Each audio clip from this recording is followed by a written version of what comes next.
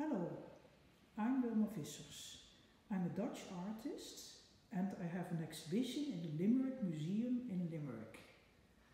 The exhibition is called Unboxing. It is inspired by the items of the uh, museum, which is a museum for historical artifacts. Uh, I live in the Netherlands, in Groningen, but parts of the year in Ireland. And I inspired by emptiness and space and walking of the Irish landscape.